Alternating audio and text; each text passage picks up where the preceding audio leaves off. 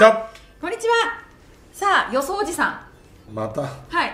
あの何回やるのこれ。言ったじゃないですか。ね当たるまでやりそうだよね。開幕前にやりました1月に。で1月のその時点で開幕前オープン戦前そして、えー開幕直前さらに4月5月6月毎月やりましょう。なんならもうなんか原監督から週間のなんか順予想までやったらいいんだよお前さんって言われたいやそうです、ね、違う違う違う。それは 開幕する前にはい。順位予想するからみんな当たらないと、うん開幕して12試合。うん終わった時点かなんかで予想をやれば当たるんじゃないかって。ああなるほど。それでも当たんないと思うけどね。そうですね、というわけで今日は、えーどこよりも早いオープン戦これからなんですがキャンプが終わった時点の順位予想当てましょう。これはさ、い。俺拍手できないのはさ、やっぱりみんな一生懸命キャンプやってきて終わって、予想して、会の方になったらやっぱなんか嫌だしょ、取材しにくいでしょ俺も。確かにね。でもそこはもう豊さん、ね、心臓も大きいので大丈夫ですよ。心臓肥大か？もうもう肥大肥大並みの心臓を持ってるので大丈夫です、はい。ということで、はい。前回の1月の予想からはい。実際にキャンプを終えてどのように変化したのか私1月の動画チェックをしました。どんなこと喋ってるのかもチェックしました。はい。それをぶつけながら豊さんにはい。新たな順予想をしていただきたいと思います、まあここにねその豊さんの今の順予想入っております。セ・リーグからいきましょう。つまり1位は優勝は？阪神。おお変わってません。これはね豊さん変わってないです。あのブレてない、はい。ブレてないやっぱりその岡田監督に変わったこと。まあ、やっぱりあのキャンプをねあれだけのこう緊張感を持ちながはい。らやったキャンプっていうのはやっぱり身になってると思うんだよね、はい。まあいい感じで進むだろうな。でコンバートもおそらくいい形で進むだろうなって、はい。岡田監督はあのスタートはね、まあ、そこそこでいいと、だからあのノイジーとかはい。外国人が揃わなくても、まあなんとかしていくよみたいな感じだったしね、はい。まあ落ち着いて入るだろうし、うん。なんかかかった状態で入らないというかね。そうですね。落ち着かして落ち着かして入っていくだろうし。だからまあいい感じでスタートするかなっていうふうには思ってる。そうですね。キャンプ前にあと言っていたのがやっぱ守備。守備を多分このキャンプで徹底するだろうから、それがやっぱ守備力につながるっていう今シーズンの、まあ、あの守備力っていうのは多分コンバートによってうん。ある程度軽減されるっていうふうに岡田監督は考えてるね。はい。急には上手くならないという。ただ適性を持ったポジションにはい。配置換えをしてやっぱそれを固定にすることによって落ち着きが出る、まあ、そこを狙ってたよね。はい。特に上手くなるっていうふうには思ってないとは思うけどやっぱ岡田監督は打てなきゃ勝てないって言ってたやっぱ点をどうやって取っていくかっていうのがやっぱり一つのポイントだって言ってたなるほど。まあ、そういう面では、まあ、ホームラン甲子園ではそんなには出ないかもわかんないけども、やっぱ勝負強さとやっぱ足だなって言ってたな、足うん、あとは横浜戦を勝ち越す。D n a 戦9勝16敗かなんかなんでしょだから、まあ、そこら辺を照準に合わせて見据えてるよね。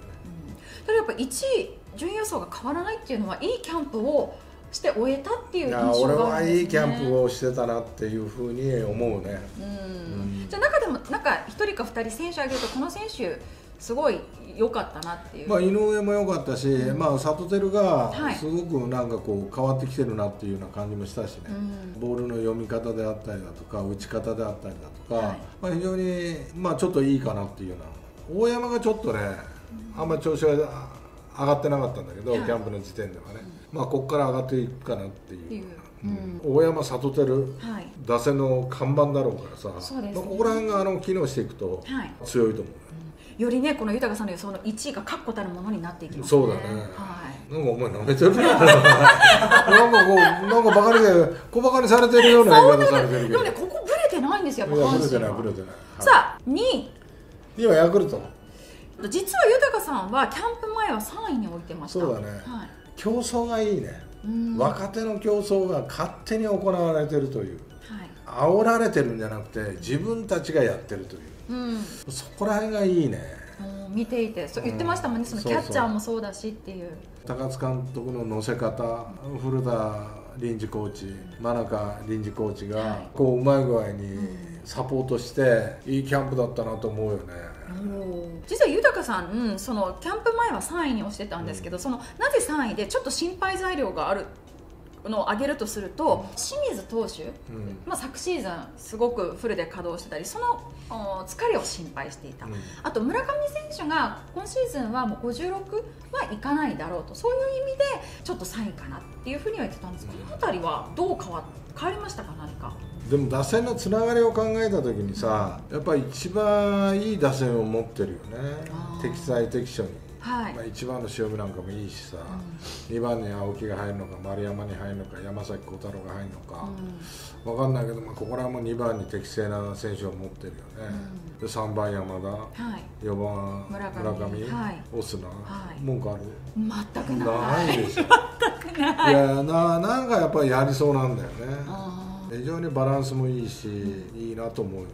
でヤクルトはだから豊さんの目にはキャンプの前よりもワンランクアップです。そうだね、はい。やっぱ強いなって思ったね。やっぱキャンプ見てそう変わってね。こうなるんですね。さあ続いて3位。はい。巨人巨人はい。ある程度外国人、ん。ローテーションに入る外国人もおそらく投げれるんだよねしっかり。はい。ということはあの打線ホームランいろんなこと考えるとやっぱ点はある程度取ってくれるかなという。そしたら勝ち星はついてくるよね。はい。あとはやっぱりこうレギュラーがちゃんといるということだよ。うん。で余ってるということそうですね。まあ、梶谷にしたって徐々に上げてるしね、丸をライトにしてみたいな、はい。で外国人がいいよセンターのブリンソン、はい。まあそこそこ打ってくるだろうし、はい。いと思うよ。そうですよね、豊さんは実はそのキャンプ前は4位にしていました、うん。で4位になぜしていたのかというとピッチャー陣。そうだろう、はい、うん。そこがちょっと不安定。まあ、先発投手がね、はい。でも両外国人はある程度ゲームを作り、うん。ちょっと打てば勝っていけるよ。であの時点でまだ外国人投手見てなかった見ですもてないんだよ、ねだからいいし、はい。後ろがやっぱ大勢とロペス、うんこの2枚は鉄板でいいしね。はい、やっぱその分いい外国人を取れたんじゃないかって思う分ワンランクアップ。そうだね。4位から3位に上がっていったってことですよね,、さあ4位です。D n a d n a は2位にしてたんですけどね。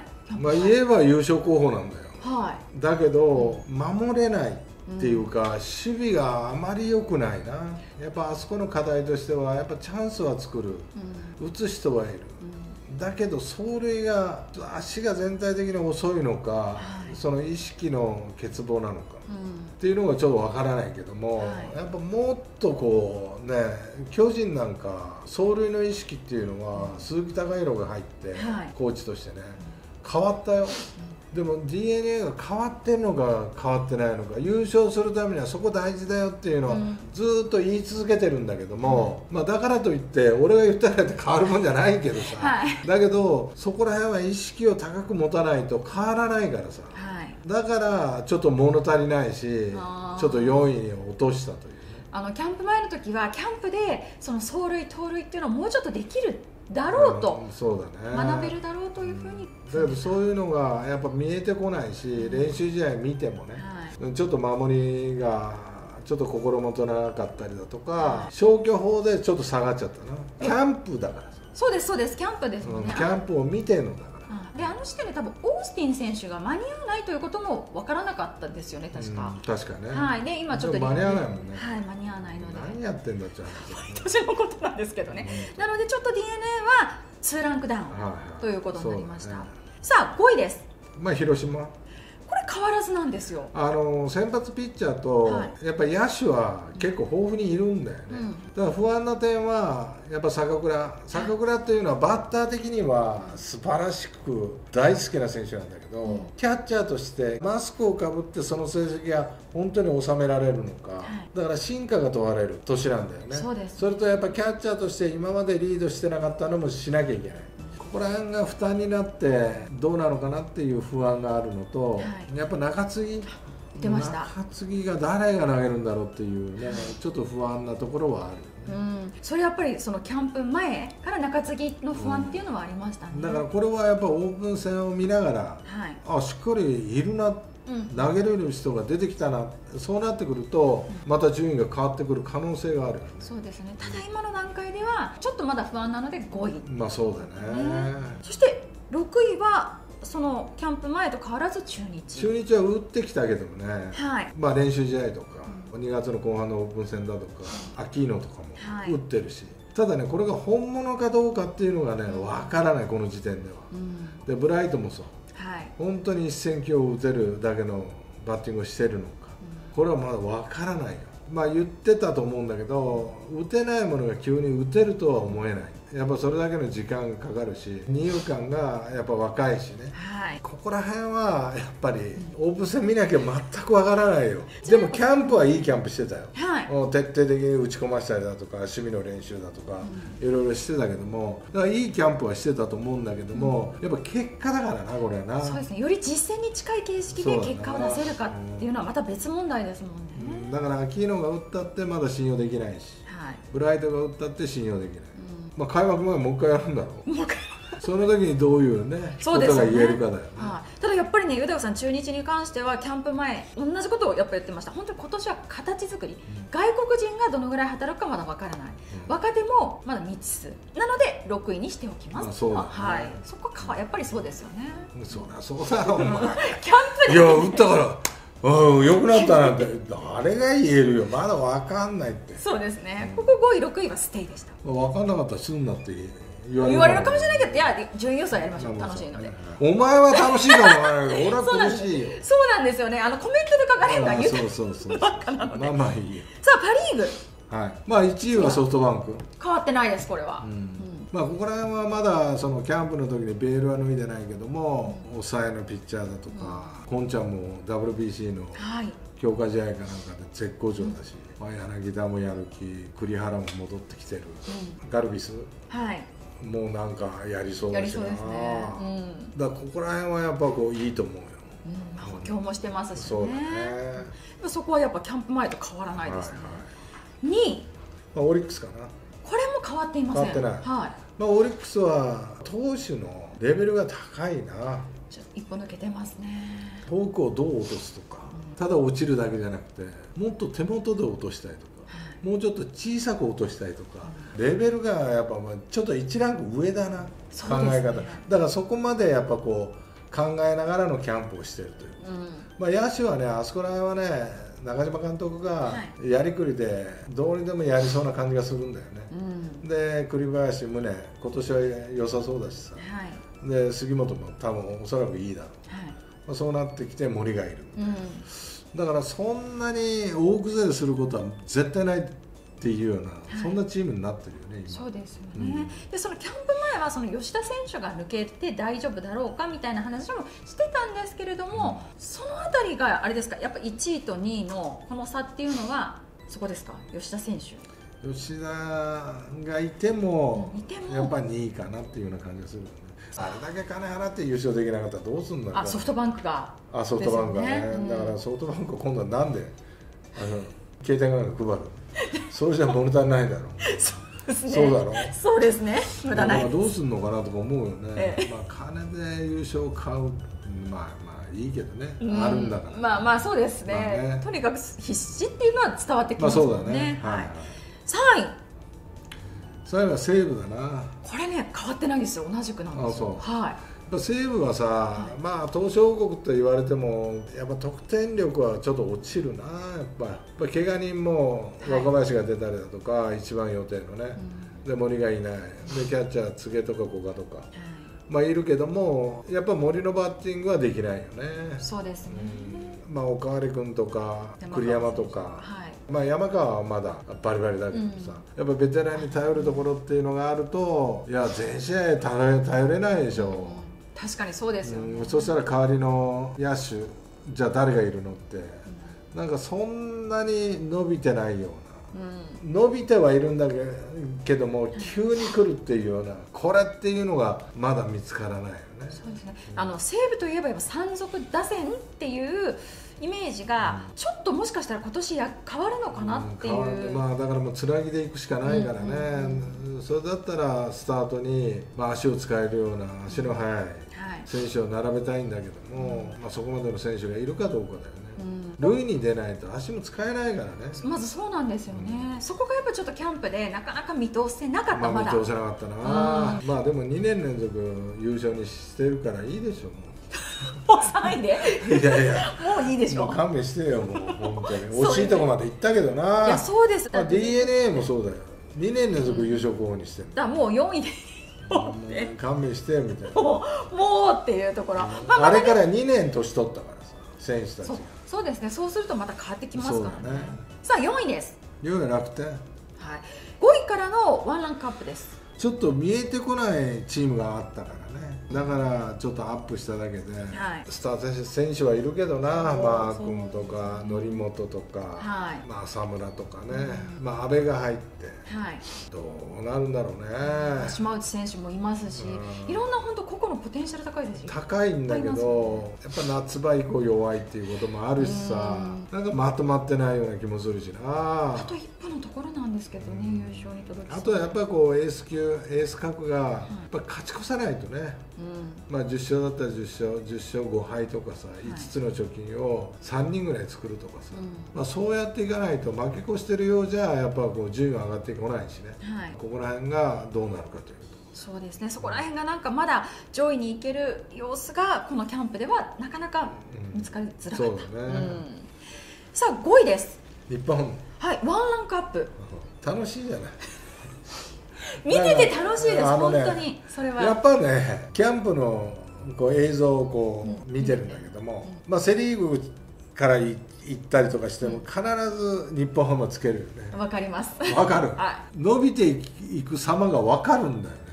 だからこれはやっぱこうチームの勢いに反映されるんじゃないかなっていうふうに思ってるそうキャンプ前とキャンプ終わった後でどういうこう成長の仕方がありました？そらねはい。矢沢がやっぱりねいいということ。はい。あのドライチのね。で清宮。はい。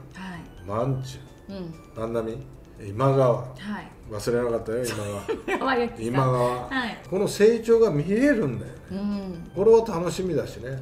あとは投手陣がどうするのか、抑えを誰をするのか、結局そうですねそうんこ、ポンセなんか抑え持ってたら多分ピシッと決まるけどね、ろうん。だけどそうなのかっていう、そうですね前なのか。うん。あとは田中正義あはいが入ってきて、まあ、先発の一角をね掴み取るのか、ソフトバンクから来ましたからね。うん。だからこれを掴み取ったとしたら、はい。結構な先発投手陣になってくるしね。はい。で固定で戦う、エスコンフィールドという新しい球場のモチベーションだとか、うん。そういうことを考えるとマイナスはなんかあんまりないんだよ噂がなんかメジャーに行きたいとか言ったぐらいで、はい。マイナスはね、まあそれでもマイナスではないけど、ですね。こ今年の戦だけどいや今から言わなくてもいいでしょみたいな時期に言っちゃったからさ、はい。だからマイナス要素はないんだよね、で唯一です。あの日本ハムがランクアップしている球団としては豊さんの中で、はい。だから固定で戦っ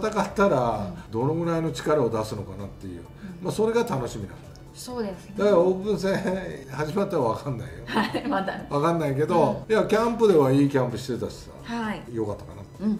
日本ハム。で6位がロッテ。これは2ランクダウンです。昨年の課題とか、まあ、それを克服するためためのなんかがこう見えてこないし足りないというかね、まあ、練習量も、まあ、井口監督の時よりも落ちてるよね。ああ見ててそういう印象がっていう、だから巨人は練習量がガーンと上がったんだよ。はいやっぱ昨年4位だったということもあって弱いチームは練習しないとって、でロッテってものすごくいいところまで行って外国人のせいにしたけども、2人が打たなかったからガクンと成績が下がったって。やっぱここでもう一回奮起が欲しかったのがちょっとやっぱり練習量も少ないっていうふうに考えたし、はい。佐々木朗希がいるから大丈夫じゃないかって言うけど佐々木朗希が降りた後って同点とかでね、はい。全部負けてんだよね。はい。だからここら辺がやっぱりちょっと気になるところだよな。佐々木朗希っていうのはもうなんていうの、もう押しも押される、はい。これからロッテのエースになっていくと思うんだけども、はい。まあ、彼が投げたゲームは絶対勝つっていうんだったら4位だと思うでも佐々木朗希が同点で頑張ってんのに同点で降りたその後負けてんのよほとんど。だからこれじゃやっぱ困るしねチームとしたら、だからそういう意味ではちょっと物足りないというか。やっぱ先発陣にやや不安不安というか。不安じゃない。不安不安になっちゃった。いやふやふやに。まあ、それもそうだし長打力という面でもはい。ちょっと不安だな、あれだけさ球場も狭くなってるのに、はい。ホームランが出ないというののは、選手としての力不足も不足っていうことも否めないという。ねうん。それを埋めるだけのものがなかなかキャンプで見つからなかったというね。だからこれはキャンプ終わった時点でそうです。まだオープン戦入ってない。まだ攻めるのは早い。攻めあのねそうです攻めるのは、いいよ攻められても、うん。あくまでも予想だから、そうよそうよで当たったことないし、うん。そういうことには慣れてるから。はい。それはいい、うん。だけど批判するのは、うん。シーズン終わってからにしてくれ。そうですね、うん。でこだって大体この順位予想一般の方でも、まあ、そうそう当たらないですよ。当たらないよ。本当に難しいです。だって途中で怪我人できたらねできたらそれで終わっちゃったりとか。う。でこ今コロナとかね、はい、まあ、そういうのもあるし、ん。だから分からないんだよそう。であくまで豊さんがその、まあ、キャンプを見た主観でこういう予想をしてるので。申し訳ないんだけど、本当に見る量が違う球団もあるよね、あもちろんそうですんだからそれはこう勘弁してほしいし、もう仕事柄、ましてやそのセ・リーグというところで育ってるから、はい。やっぱちょっと見る時間がセ・リーグに偏ってるっていうことも確かなんそうですね。あとはうん。日本ハムにいたのでやっぱ日日本本ハムとかハム気になはちょっとはい。ありますよありますよ、それは、うん。はい、だからまあそこら辺は容赦してくださいね。ぜひぜひ。はい。で、まあ、今回は、えーキャンプ終わった時点で順位予想しましたが、はえーオープン戦終わった時点、まあ、開ま幕前たやんの？ですよ。開幕前じゃあこの順位がオープン戦でどのように変わっていくのか。もうねオープン戦でものすごいバーンと出てくるヒーローみたいな選手が、まあなあ、はい、いるかもしれないですし。俺の毛を返せお前。毛を返して誰に言ってるんですいやだってこんな無理なんだ。よものすごく気を使うことをやらせたそうですよね。やっぱ6位って言われたねチームは。いや嫌でしょ俺だって現役の時になんだあの6位かよみたいな。思ってたもん。思ってくださいよ。まだこれキャンプ終わった時点だ。そうです。ここからオープン戦とにより実践に近いものに入っていくのでまたね開幕前オープン戦終わってから 開幕、えー予想順位予想やりましょう。はい